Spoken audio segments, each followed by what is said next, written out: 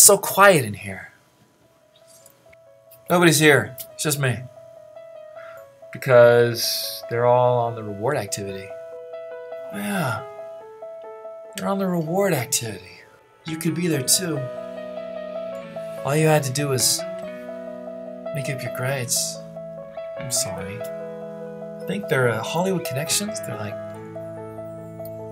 riding on rides, skating with skates.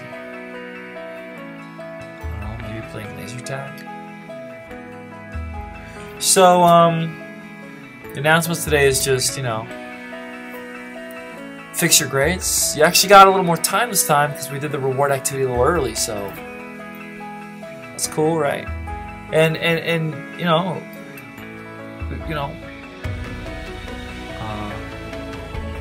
grades are coming. You know, you got you know you got like a week, right? Still, so you don't make them up. You can do it. I know you can do it. You know, you're gonna finish the seventh, eighth grade, ninth grade anyway, right? You, you might as well do it with good grades. It's not that hard.